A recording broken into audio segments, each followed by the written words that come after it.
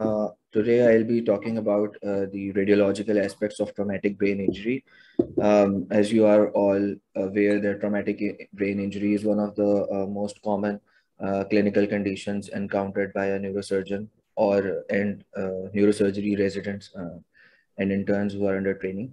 And although it is one of the earliest things which they get to learn in neurosurgery, but still uh, it's always a good idea to revisit uh, the basics and to refresh uh, the knowledge. Uh, I uh, understand that there might be some uh, participants who would be medical students and some mostly there would be residents. So I'll try to also mention some basic aspects which might be too basic for residents, but I'll try to mention those so that everyone understands whatever aspects I teach. So uh, uh, my whole uh, presentation would be mostly interactive and it will be uh, apart from a couple of slides. Uh, you won't see any uh, texts in the slide in the slides. there would be all scans and pictures and because an important purpose of this session is to teach practical aspects and implications of neuroradiology um, theoretical uh, knowledge uh, everyone can acquire even while uh, sitting at their homes. So it's actually the practical aspects which one can uh, learn through these sessions. So the common causes of uh, traumatic uh, brain injury are fall of a patient from height, ground level fall of the patient, fall of an object on a patient's head, road traffic accidents, assault with a blunt object or gunshot injury, which are basically penetration injuries. So these are the common conditions and whenever a neurosurgery resident uh, or intern uh, receives a patient with a history, one of these histories, uh, he or she uh, immediately uh, thinks of possible traumatic brain injury and then uh, has to decide whether an imaging is needed or not. So two very basic principles of deciding whether to get an, a brain imaging done or not include whether uh, include uh, the assessing the patient's neurological status, if it's altered, or if there is a history of altered neurological status, a brain imaging is warranted. And secondly, if the impact or the mode of trauma is severe, uh, even without any neurological uh, deficits or impairment, uh, brain imaging is warranted to rule out a traumatic brain injury. So these are the common, uh, this is a classification of traumatic brain injury. Uh, there is primary injury and secondary injury. And um, the role of a neurosurgery resident on call uh, who is covering ER uh, or a radiology resident uh, on call uh, covering ER is to act as a detective whenever, whether, whenever a patient with history of traumatic brain injury comes and gets imaging done. And these are the seven basic things or aspects which one has to search for in brain imaging. So some are primary injuries, which are visible uh, mostly right after uh, the traumatic event. These include fractures, contusions, uh, intracranial hematoma. This we'll see that there may be different types of it and diffuse axonal injury. And then a secondary injury, which develops with time and uh, uh, over a course of further a couple of days or three or four days after the traumatic event. And that includes edema, ischemia, and herniation. At times, uh, in case of uh, severe uh, traumatic impact or severe mode of injury, for example, a gunshot injury uh, to the head, it may result in uh, ischemia uh, as a primary injury because the bullet injures some blood vessel and causes ischemia. So at times, these secondary injuries can be present in at the time of initial presentation as well. But, mo but mostly when we uh, receive a patient in ER, we search the scans for primary injuries.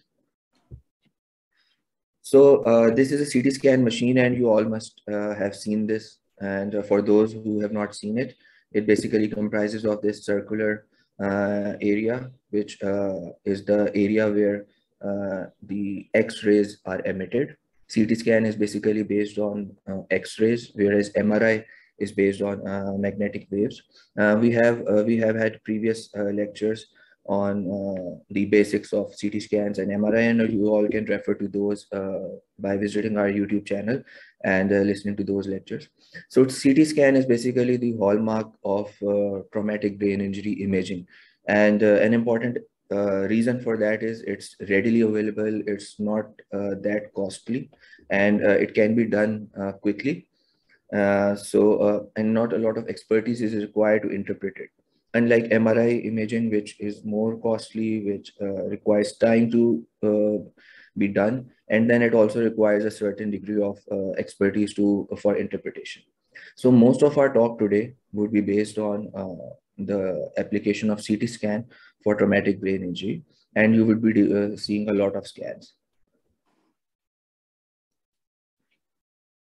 So uh, this is an axial section and this is a basic image and I just put it here to let everyone know, particularly if there are any medical students in the participants that uh, just like in MRI, uh, in CT scan as well, uh, the imaging is printed in such a way and presented in such a way that the area on the uh, which appears on the left is actually right side of the patient and the area which is on the left is actually the uh, which appears on the right is actually the left side. So it's opposite.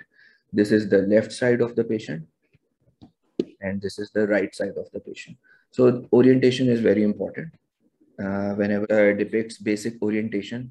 Uh, as i already mentioned that uh, whenever we tend to do something an important aspect in whatever we do uh, is to first uh, orient ourselves with regards to what are the particular aspects of that imaging. So whenever we see a CT scan, um, it's important to know what sequence or what how the slices of that CT scan were obtained.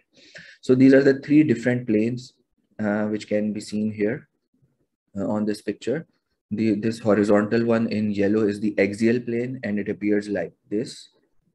And uh, this pink colored one is the sagittal plane and it appears like this. It looks as if the uh, pictures or images are taken from side. And uh, this green uh, colored uh, plane is the coronal plane, which is over here. And it's basically the anterior-posterior plane uh, where we are looking from the front. So it's important to know this orientation because whenever we interpret or read CT scans or tell anyone about the findings on a CT scan, uh, we have to mention on which uh, sequence or plane uh, those findings were present. Now, whenever we acquire a CT scan, these are the three basic uh, type of images which can be obtained. The one on the left side is a scout radiograph, and it's basically an X-ray which shows that, uh, which is taken right at the beginning of uh, the CT when the CT scan machine is starting to work. And you can see these uh, dotted lines. These dotted lines are basically the uh, planes of sections, different sections, which later appear like this. Conventionally, each of these section is at a distance of 0.5 centimeters or uh, 5 millimeters. Uh, we do have uh, thin cuts or thin slices of CT scan even at 1 millimeter apart. Uh, but mostly for uh, traumatic brain injury imaging. Uh, as a convention, we have these these planes 0.5 centimeter apart. And it's a there's a reason to know this because we'll see later on that we can calculate at times you have to calculate the volume of the pathology or hematoma. And uh, uh, an important aspect of calculating the volume is to know these uh, measurements this uh, image over here, which is labeled as brain window. So this shows us uh, the brain parenchyma uh, more clearly. Uh, we can, and the ventricles as well, we can see this uh, hypodense or black colored uh, stru structure over here, which is the lateral ventricle, the frontal horn.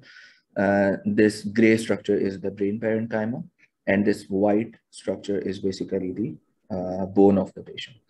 So uh, it's important to know uh, that we use the terminologies of isodense, hypodense, and hyperdense uh, whenever we are reading a CT scan. And this density is uh, measured or mentioned with regards to the density of brain parenchyma. So if something appears darker as compared to brain parenchyma, uh, which is grayish, so we call it hypodense. And uh, the two common things which appear hypodense on a CT scan are fluid and air. Uh, if something appears more brighter or whitish as compared to brain parenchyma, like we can see the bone over here, it is called hyperdense. Uh, this is important to know because acute blood also appears uh, hyperdense on a CT scan. Now this uh, image on the right hand side, this is the bone window. And you can see that if there is a fracture on brain window, it would be difficult to uh, identify because there is so much brightness around uh, the bone that that fracture line would be missed. However, this uh, bone window basically uh, lightens up uh, the contrast so that the bone appears more prominent.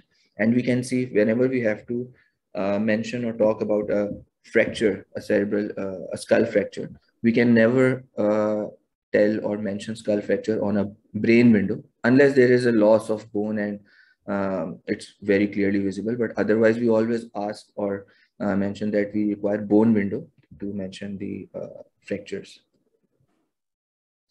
So I've already mentioned about the scout radiograph. Now this is, uh, I just uh, put up this image so that uh, you can see that how an MRI machine appears different uh, from a CT scanner. And you can see that it's a bigger machine, the uh, this structure over here, this big structure in which there is a opening in the middle where the patient's uh, patient slides inside. This is the main MRI machine where magnetic waves are emitted. And So the role of uh, MRI in traumatic brain injury is very limited and it mainly concerns with regards to secondary uh, brain injury. Uh, primary brain injury often can, uh, cannot be picked up on an MRI imaging, uh, but secondary injuries like ischemia uh, or herniation that can be picked up on MRI.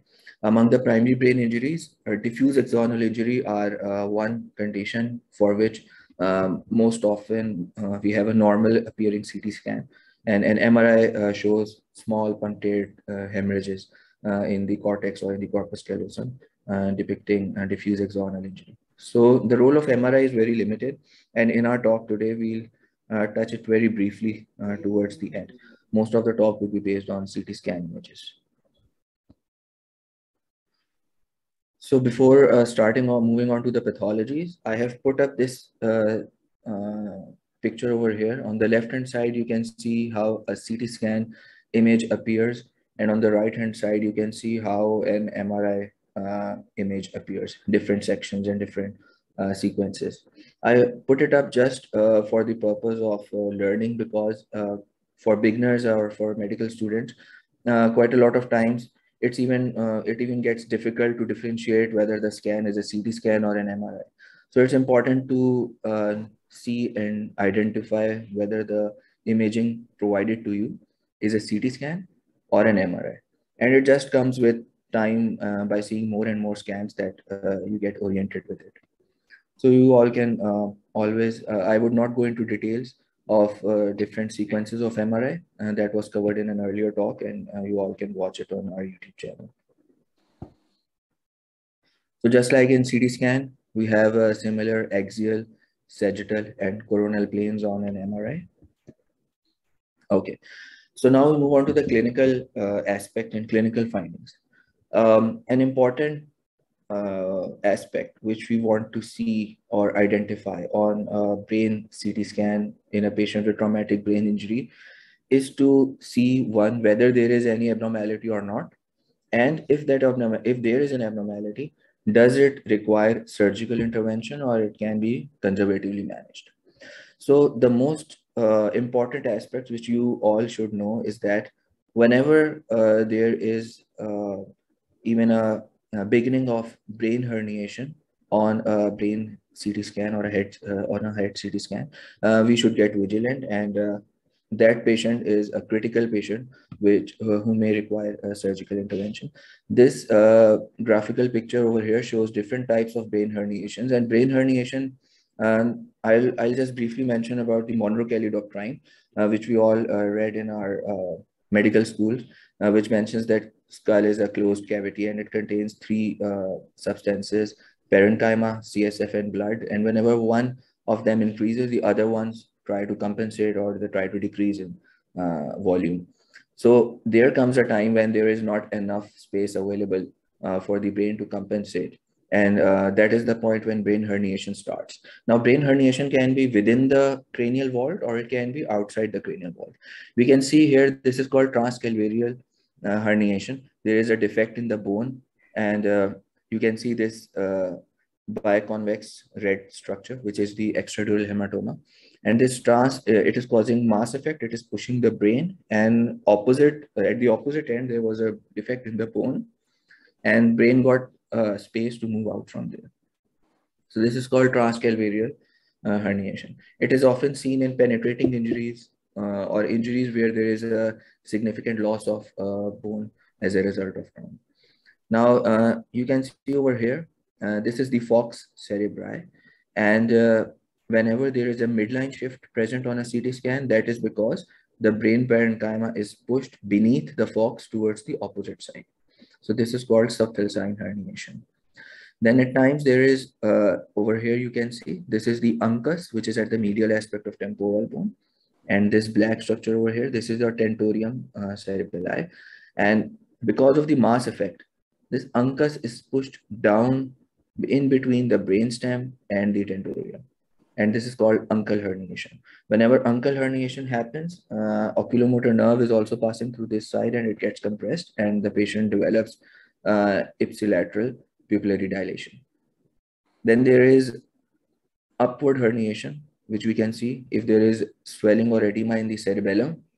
Just like when there is supratentorial uh, mass effect, uncus is pushed downwards. Similarly, if there is cerebellar uh, edema or cerebellar mass effect, the cerebellum or brainstem is pushed upwards across the tentorium.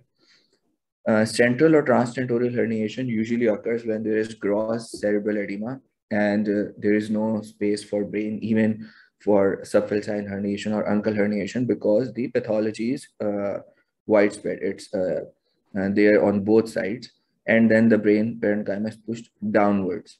And we can see that this is the foramen magnum and cerebellar tonsils are then uh, pushed downwards. So these are the different types of herniation and we'll see these in subsequent images.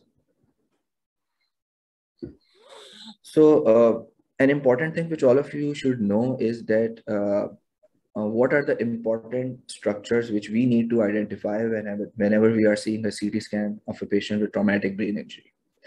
So first of all, we have to look at the brain parenchyma, whether there are abnormalities or not. And more importantly, we also need to know whether there is any herniation taking place or not. So any type of these herniations, whether they are taking place or not, that is our task and we always try to uh, look for that. So we can, uh, to know that or identify that, we need to know some uh, spaces around the uh, brain parenchyma, where which are filled with CSF and are called cisterns. These are the spaces uh, where, uh, in case of a mass effect, the CSF gets, the volume of CSF reduces and the space obliterates. And uh, if these spaces reduce in size, uh, that means that uh, the patient has impending herniation or has herniated. So these spaces are mainly around the brainstem. You can see this smiling face. This is just posterior to the midbrain, and uh, this is called the quadrigeminal cistern. So this, if this smiling face is present, you would know that there basal one of the basal cisterns is patent. Then just as you go a little down, this cistern extends more anteriorly around the, uh, this is the junction of brainstem and uh, of midbrain and pons. And this black line and this black line, which is slightly obliterated because this is the scan of a patient who had a traumatic brain injury. And there is some edema in the bilateral temporal lobes. So you can see the quadrigeminal cistern is quite wide and quite prominent. But these cisterns where I am moving my pointer and these. These are called the ambient cistern. These are not that prominent. So we can say that uh, the size of ambient cisterns is being reduced. And over here, we can even not identify ambient cistern at all. So this would mean that we can we would call that effacement of the cistern. And uh, this is the place where this is the medial aspect of temporal lobe. And if uncal herniation is taking place, uh, this cistern would get effaced. As we go further down, uh, we would see that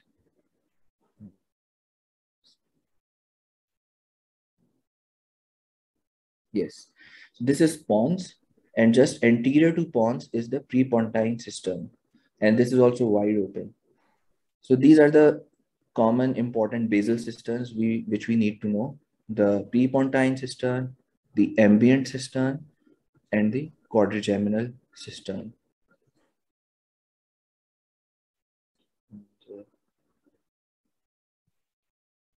Okay, on a sagittal section. Okay, so this is the uh, cisterna magna, through which if there is tonsillar herniation, this cistern would get obliterated. On a sagittal section, uh, uh, the place where I have my pointer, this is the quadrigeminal cistern, and this is the prepontine cistern. The ambient cisterns are lateral uh, to the pons on either side. So if we see that this cisterna magna is patent, we can see hypodense CSF over here. There is no tonsillar herniation in this patient. We can see the prepontine cistern and the uh, quadrigeminal cistern uh, very prominent. So there is no central herniation as well. And then uh, no uncal herniation most likely if uh, we can see on this image on a coronal section. This point where I have my pointer, this is the uncus. And we can see this is the brainstem if there is uncal herniation, this space gets obliterated. In this particular patient, although there is edema around here, it is a post-traumatic case, but still uh, there is no significant herniation present in this patient. Uh, we can see some subarachnoid hemorrhage over here. We would also see it later in other subsequent scans.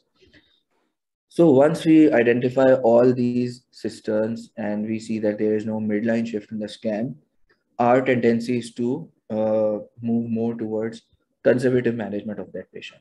But in case these cisterns are being obliterated or effaced, that means that the patient requires uh, surgical intervention um, or maximum uh, medical intervention to reduce uh, the edema. Okay, so I'll just initially identify common uh, pathologies, common intracranial hematomas. Uh, so I'll ask uh, one of our residents, uh, Dr. Mustafa, to just read this scan and tell us what are the main important findings. Just tell the what type of scan this is and what is the main finding.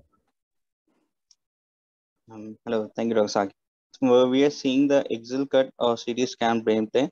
And here we could see the right uh, parietal uh, line-shaped hyperdense lesion uh, which is well circumscribed and causing significant mass effect and midline shift. And there's also a cerebral edema at right hemisphere. And we can see that, uh, uh, so sulci are obliterated on the right side as well. And there's also subgaleal hematome collection on the right bilaterally. And here we can comment of the, uh, we can't comment on the bone uh, we better appreciate it in the bone window, whether it's a fracture or not. Right.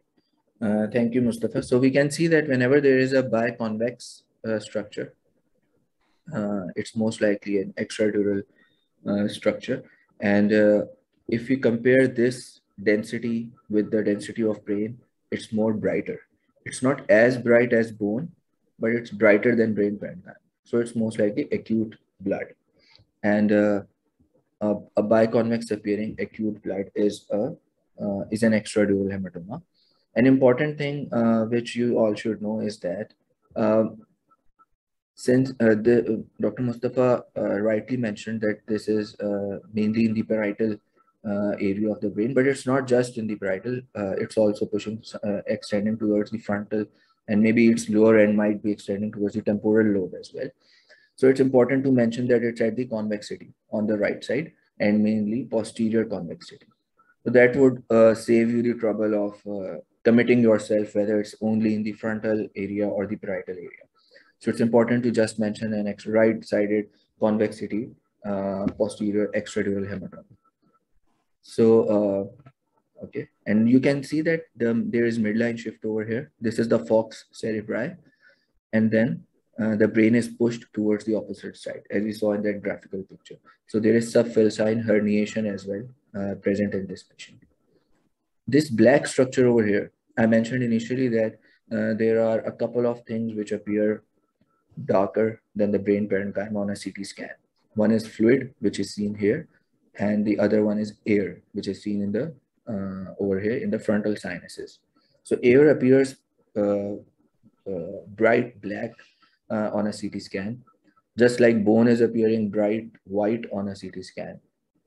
Now, in case some air speck is present over here, uh, okay, I think I'll, I'll mention that in a subsequent scan later on, where we'll have pneumocephalus. To differentiate, I want all of you to know how to differentiate between blood and uh, calcification. Like we can see this white dot over here and this. So is this uh, hematoma or is this calcification? Uh, Dr. Mustafa, can you comment on this? This white dot over here. Uh, looks like it's a calcification.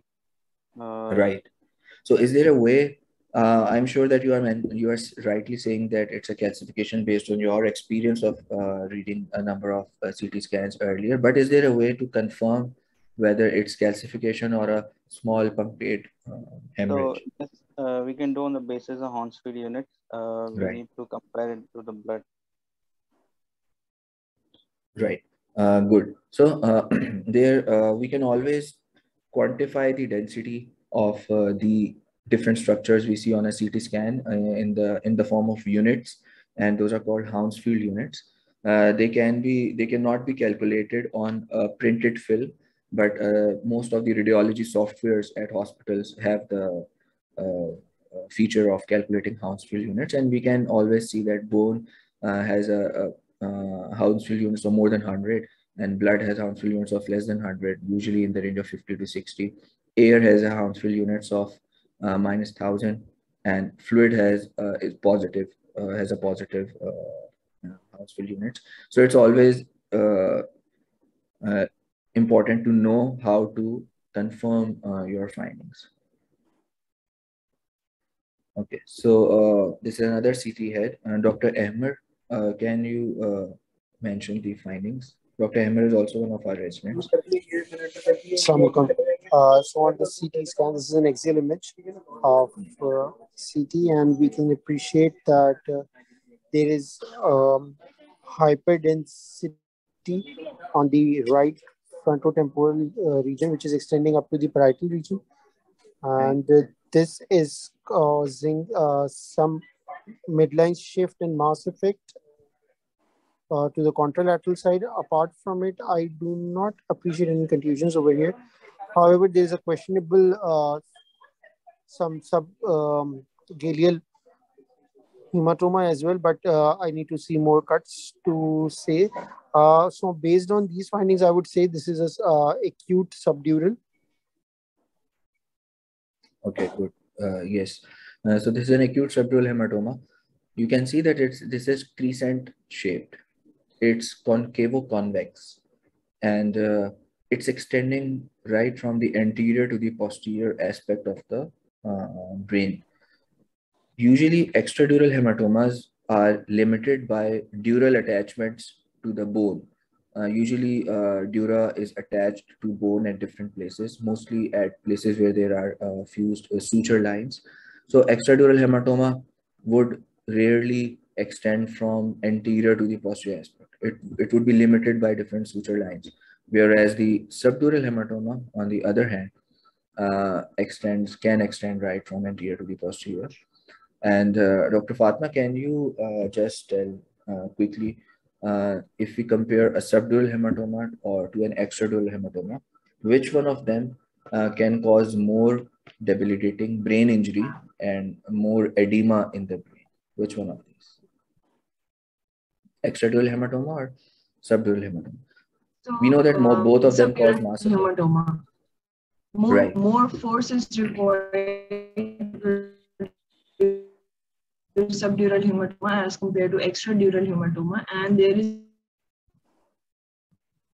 right. So a subdural hematoma is basically present in the subdural uh, space. It's right next to the brain. Uh, there's the pia mater in between, and therefore it causes a more uh, inflammatory reaction in the brain parenchyma as compared to an extradural hematoma, which is present outside the dura, and the dura acts as a barrier uh, between brain and extradural.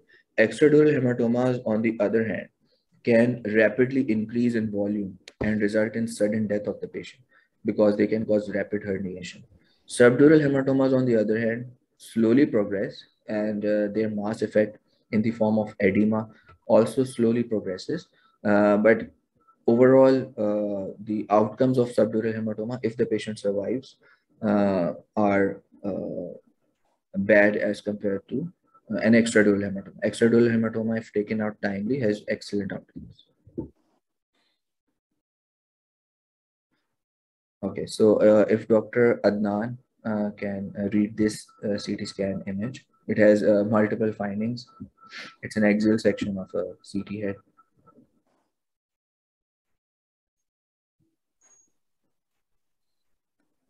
So this uh, CT brain plane, CT brain axial section shows diffuse cerebral edema uh, as well as subarachnoid hemorrhage bilateral pronounced in these uh, fissures. It also shows uh, intraventricular hemorrhage, most prominent in the posterior horns, as well as some ventriculomegaly. Right. So, uh, so there are multiple findings on this. Uh, you did not mention about uh, this white structure over here. It's basically in the lateral ventricles, and this is uh, uh, the place uh, where uh, the lateral ventricles drain into the third ventricle via the foramen of Monro. And most likely this patient had a tube and extraventricular drain uh, placed over here for relieving hydrocephalus. But just on, if we see this CT scan image, we would mention that this likely appears a foreign body. Uh, we would like to see other images as well, other sections as well to be sure whether this uh, uh, a VP shunt or an EVD drain you all can should appreciate this fluid level over here. This is blood and this is CSF. And uh, this is blood in the ventricle. And now you can see this white structure, it appears more brighter. And this is calcification. This whiter structure, this is blood. Now there is very uh, marginal difference in the density of both of these. So someone who is a junior resident or an intern might just think well that this may also be blood and this may also be blood and this may also be blood. So it's always important to know that you can confirm it by measuring the uh, Hounsfield units. This is this white structure are uh, age-related uh, calcification in the choroid plexus, and these are present in the lateral ventricles. You can see these are uh, white lines in between. So these are basically sulci, and this is the uh, Sylvian fissure over here. This is the Sylvian fissure over here. We can see gross uh, subarachnoid uh, hemorrhage bilateral. Now, these are the kind of patients where we see we can see central brain herniation because there are pathologies on both sides of the brain, edema on both sides, and uh, this can cause central herniation downwards. Plus, you can appreciate this EVD drain was likely inserted because there was hydrocephalus over here because of uh, obstruction to the CSF flow. Okay, so you all can see this is also an axial section of a CT scan and we can see small white dot uh, dots, different dots over here. And uh, these are cerebral contusions. Now, cerebral contusions are not as bright as an intracranial hematoma uh, because these contusions are basically bruising of the brain.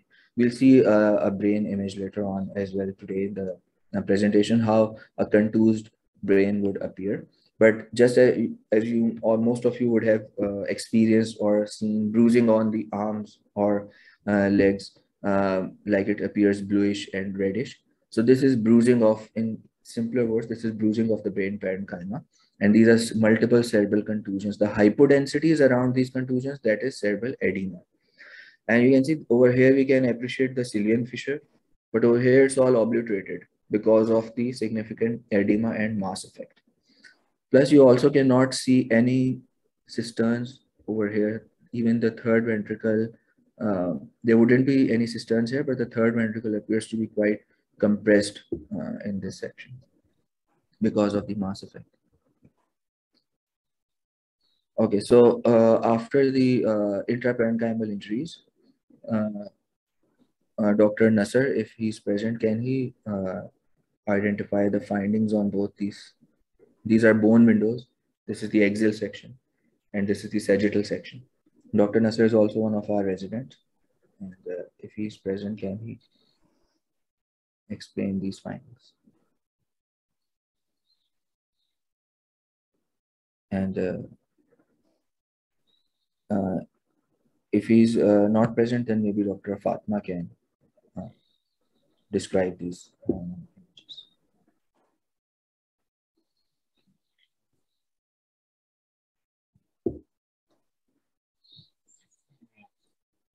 So uh, we cannot hear you, Fatma, uh, just because of the paucity of time. I would uh, uh, uh, describe these scans myself, we can see that there is discontinuity in the uh, bone over here. These are fractures and these would not be that visible on a bone on a brain window. But over here we can see this is the place where we had frontal sinuses. If I move on to the earlier image over here, these are the frontal sinuses. And if there is a fracture line in over here, that wouldn't be visible. So these are frontal fractures which are involving both the outer table and the inner table of the uh, uh, frontal sinus. And these black dots over here, these are air specks.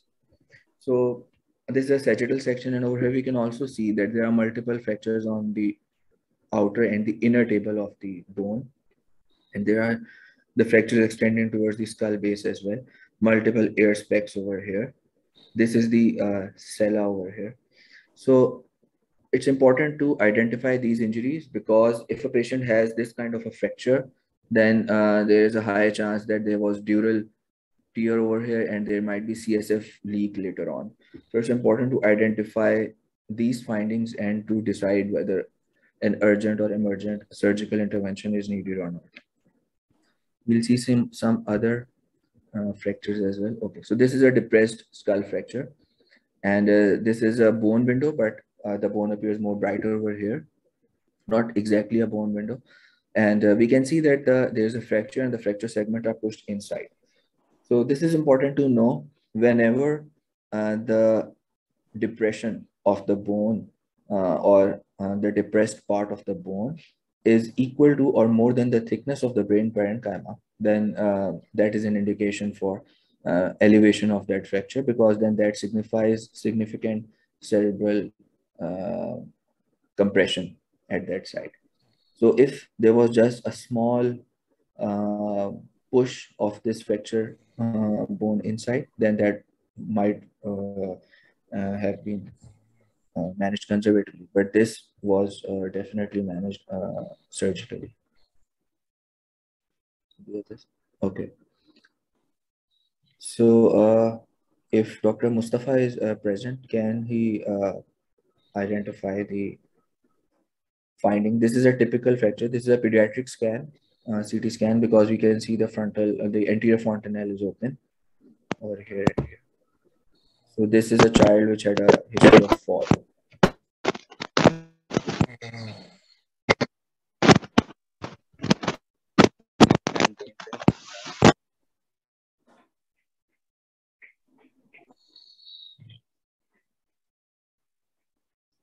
Uh, so uh, we cannot hear Dr. Mustafa properly. I will just uh, quickly describe that. Uh, we can see quite often uh, the bone over here clearly fractured. It's basically compressed. And there might there would be definitely some cracks over here, just like green stick fractures appear in the limbs, but it's just compressed inside. And since the anterior fontanelle is open, this would not be causing a significant compression of the brain. And as the child's brain grows, uh, this bone grows and the fractured bone, the compressed bone is pushed outside as well. So these fractures are typically called ping pong fractures. And uh, I'm sure most of you would have seen a ping pong ball. This is a 3D scan.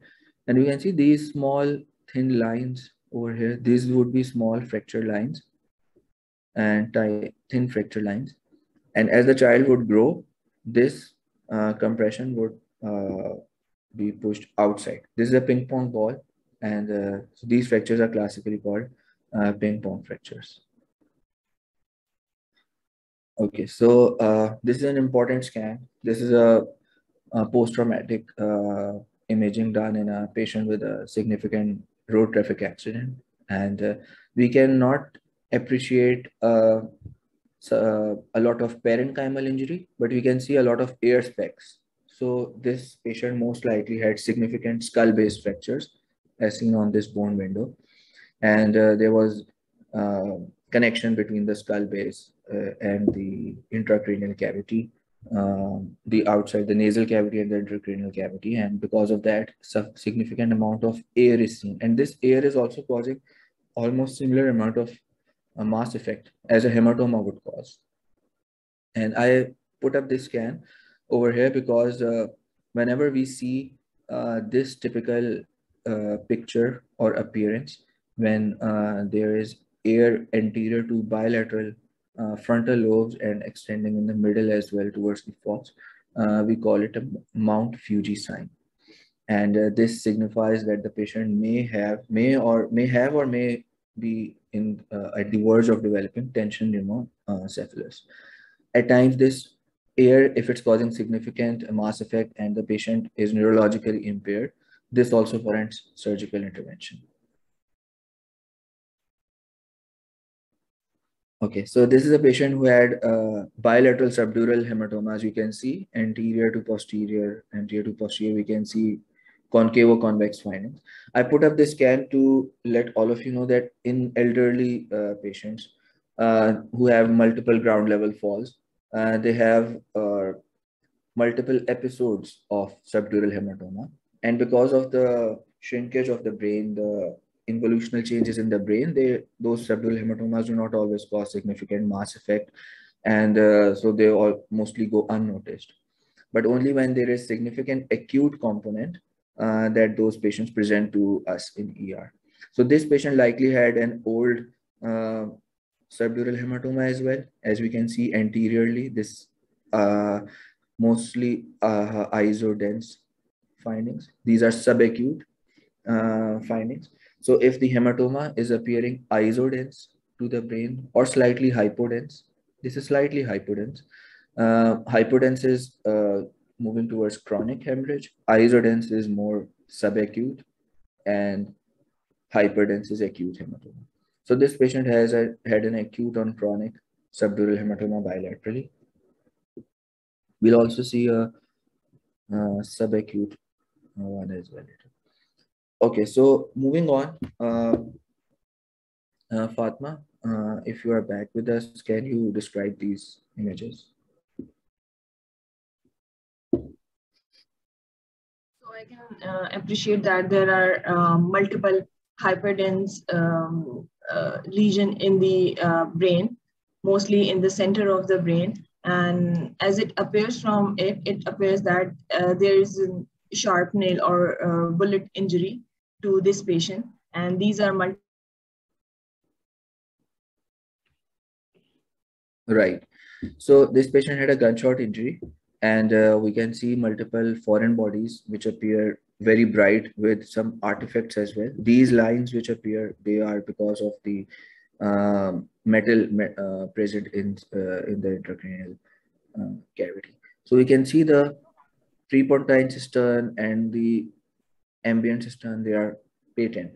But as we go up towards the corpus, towards the third ventricle, thalamus, and the corpus callosum, we can see significant injury. And these hypodensities, these are basically um, quite hypodense, and these are likely infarcts uh, resulting because of vascular injury in the middle. And uh, we can see this is the entry wound of the patient. The bullet or the shrapnels are in the intracranial cavity. And uh, this patient would most likely uh, had uh, have a, an injury to the superior sagittal sinus as well. So it's important to identify which important structures um, could have been damaged or injured as a result of trauma. We can also appreciate these hypodense uh, changes in the ventricles. This would uh, mean intraventricular hematoma. So because of paucity of time, we would slightly move quickly. This, these are the scans of same patient. Now I put this image over here. Uh, we saw earlier that the brain might be herniating outside the cranial cavity. And over here we can see because of significant cerebral edema, the brain parenchyma is coming out from the uh, fractured bone. And this is uh, extracalvar transcalvarial herniation. These are the 3D images. This is 3D image of the same patient. This is another patient with a significant uh, gunshot injury.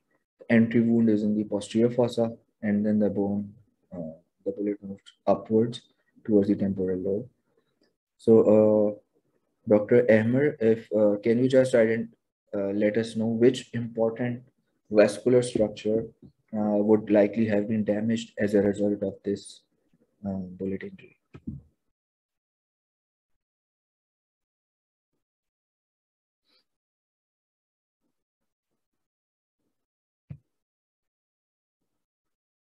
So uh, if Dr. Ahmer is not present over here, I'll just uh, Uh, Dr. Saqib. Yes, uh, you want to know the which structure would be uh, injured because of Vascular structure. Vas- important So- vascular structure. So branches of the MCA would be injured in this. Uh, apart from that, the transverse sinus would also be injured.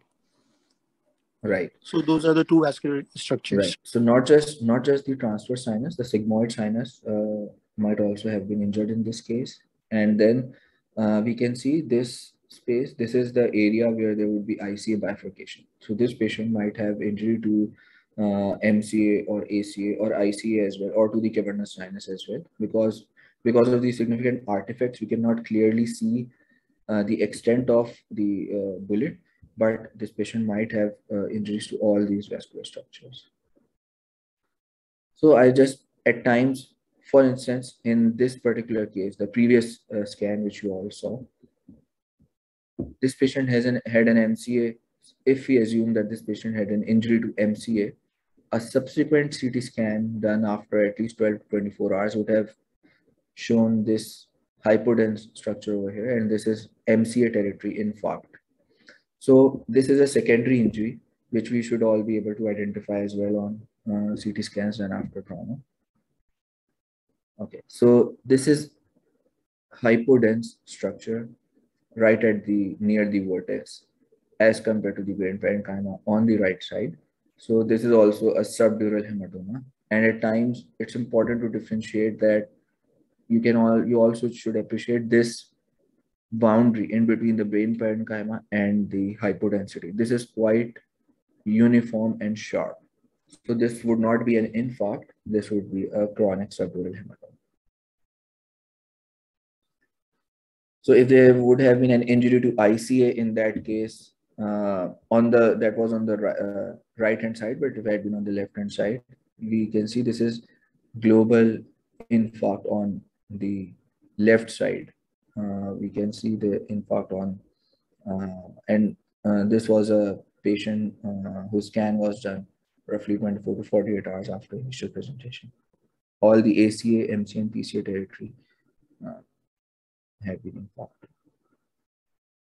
Okay, so over here we can see we can all you should you all would be appreciating significant mass effect. There is subfalcine herniation. If you take notice, there is some hypodensity over here. Isodense, not hypodense, isodensity over here, which is over here you can also appreciate slight membrane. So at times subacute subdural hematomas are difficult to identify and uh, one has to look very sharply uh, to notice. Uh, so this patient had an uh, subacute uh, subdural hematoma. Okay. So this again is an extradural hematoma. As I mentioned earlier, when Dr. Mustafa described that uh, this is also towards the convexity, but it's in the more anterior area. So we can say that it's an anterior uh, extradural hematoma. Right. So if you see this hyperdensity, it's more brighter and more uh, uniform uh, and more homogeneous as compared to the earlier uh, hyperdensities, uh, hyperdensities which we saw over here. So these dotted small, small white dots, these are contusions and these are not homogeneous. You can see hypodense edema around these as well. With contrast to this, if you see over here, this is more homogeneous. So this is uh, an ICH, an intracranial hematoma or intraparenchymal hematoma. We can also see that it's there's intraventricular extension as well and significant mass effect. Right, this is another example of a subdural hematoma, and there may be some uh, subarachnoid hemorrhage as well. Right. so this was a patient who had presented with uh, a road traffic accident. And uh, we can see there was significant left-sided ICH, right-sided subarachnoid hemorrhage, uh, herniation. He had uncal herniation as well. And the left side uh, pupil was uh, dilated. So he was taken to OR and a decompressive craniectomy was done. And this uh, part of the bone uh, of the brain parenchyma, it doesn't appear contused over here, but intraoperatively it was, it appeared slightly contused. So you can see this is how a bruised uh, brain would appear. There is some uh, quite a lot of hyperemia over here as well because of the uh, hematoma. There was hematoma inside as well. And then there are multiple contusions over here as well. And you can see that we have, this is the post-op scan.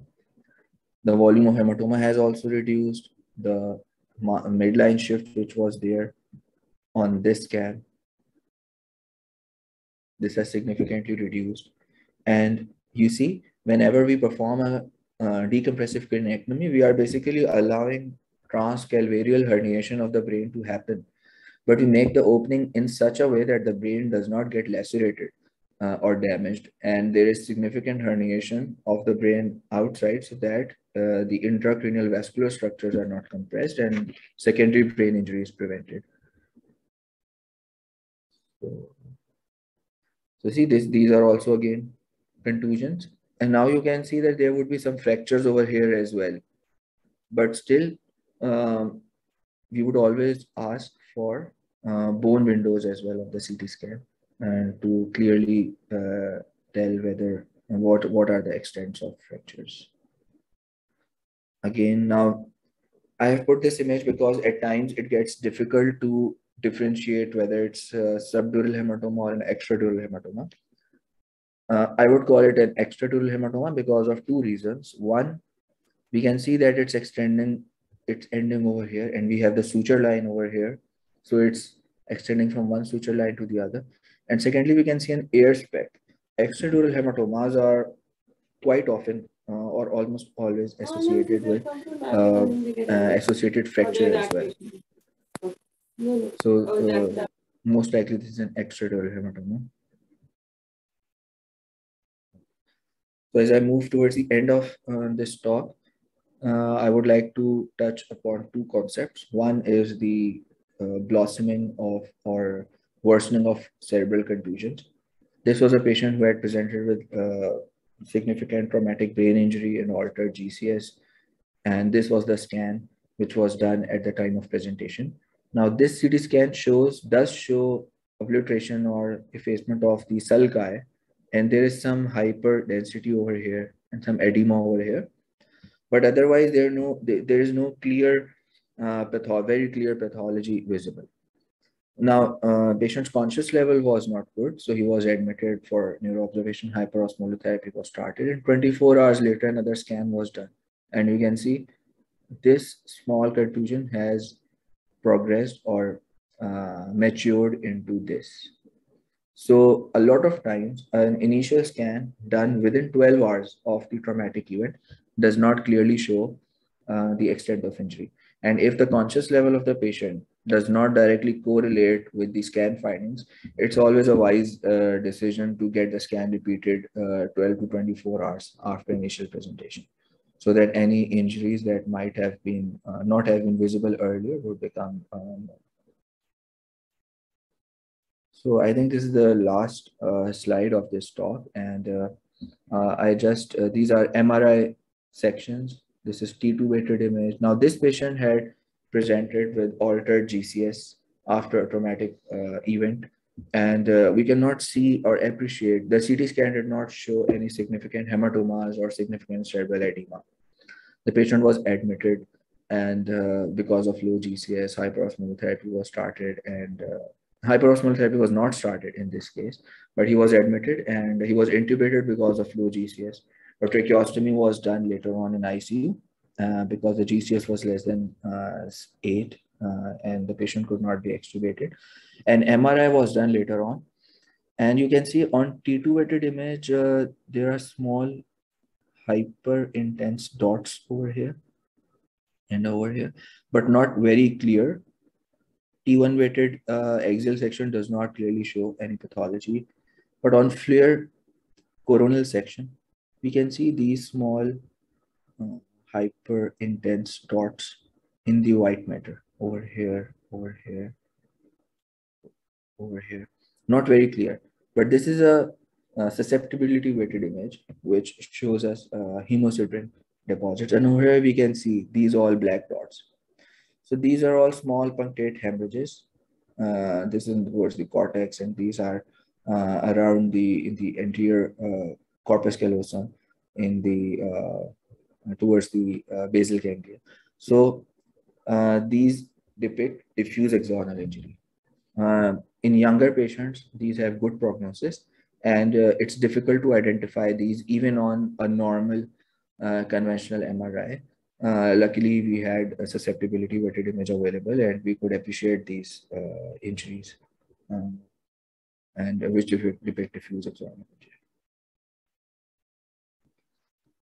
Okay, uh, thank you very much. So I think I finished uh, just in time and uh, I hope all of you, you know, had a good time and this talk would have definitely helped you revise your uh, concepts or refresh your memory about the basic concepts of traumatic brain injuries, uh, radiological aspects.